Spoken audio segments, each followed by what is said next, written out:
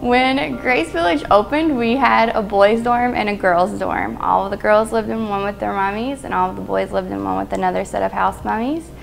And I think about two years after we had been here, um, we prayed a lot and decided that the dorms were not the best way to raise our kids at Grace Village. And after a lot of research and a lot of prayer, we decided to do family style living. So now all of our kids are in four family style homes. There are two boys' homes and two girls' homes with mommies and poppies in each of the houses that care for them. And they function just like a little family. Um, mom and dad are in charge of the house.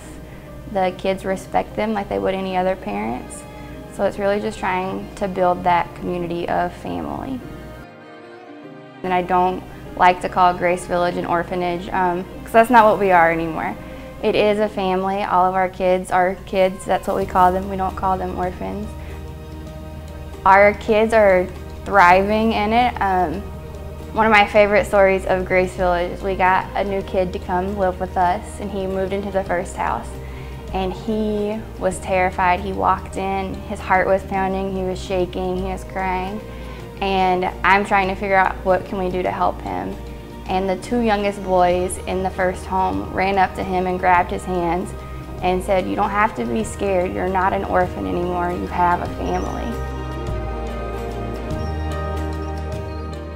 December 2015, EBIS, which is the social services in Haiti, called us and asked if we would open as a transient orphanage.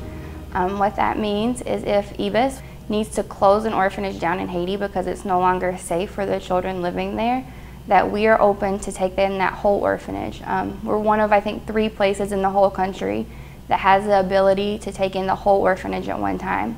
And that's just really important because they're leaving a scary situation and to be able to go with people you already know and you're already comfortable with, it helps that transition a lot. We got 26 new kids in January and in September of 2016, all of them have been reunited with their biological families. And the really cool thing with that is, is that their biological families are coming to Grace Village to pick their children up, but they're leaving with a support system behind them. They get their education paid for until they graduate. They get a monthly food stipend, so everybody's being taken care of. I think a lot of the time, at the beginning in my mind, it was the kids are in the orphanage because they're not safe. They're from a place that can't take care of them. And when I saw this little girl run to her mom and dad, it just all kind of clicked in my brain that it's not because she wasn't safe with mom and dad, and it's not because mom and dad didn't love her, it's because they couldn't take care of her. So putting her in an orphanage was what they thought was the best option for her to have a good life. Um, she ended up in a not safe orphanage, which was sad, but then she moved to Grace Village where her parents got to come and find her.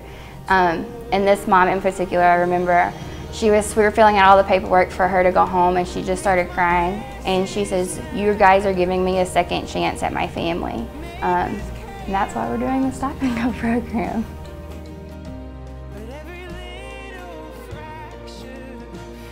If our youngest kids at Grace Village can remember that we're not orphans anymore, that doesn't apply to them, it doesn't apply to the new kids that are coming in, that we're all part of this big family.